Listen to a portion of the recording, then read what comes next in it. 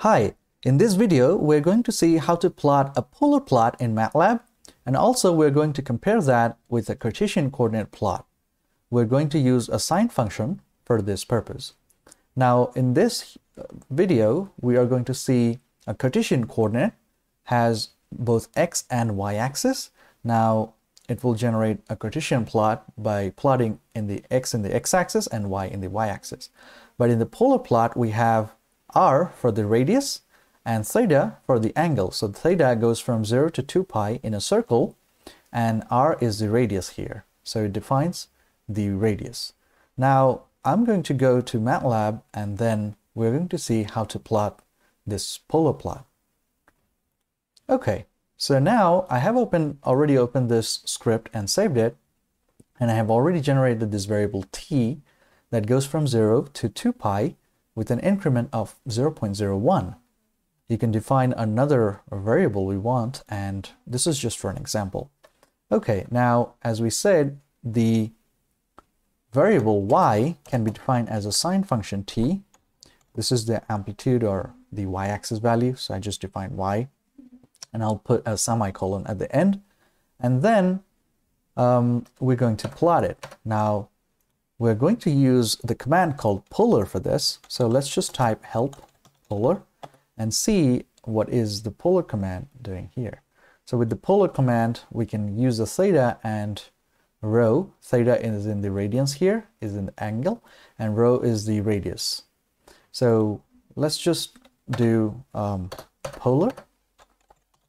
And for here, let's just place theta and y.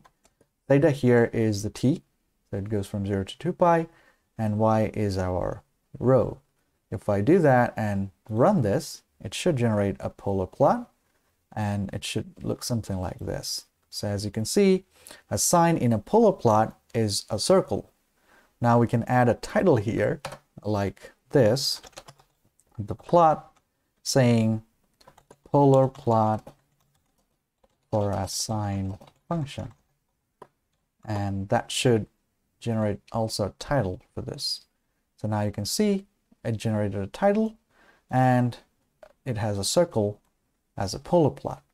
Now we're going to see how does it do with a Cartesian plot. So I'm going to generate another figure here with the command figure and in the braces I can um, in the parentheses I can type 2 and that says that generate another figure and then there, I'm going to use this command called plot and do the exact same thing, t and y. Now this plot will generate a Cartesian coordinate. And I can say title um, Cartesian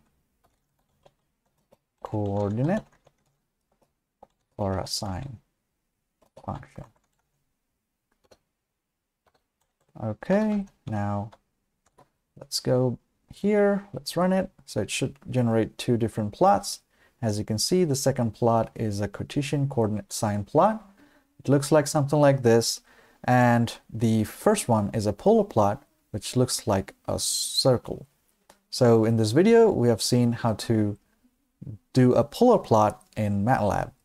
That's it for now. Thank you for watching. See you in the next one.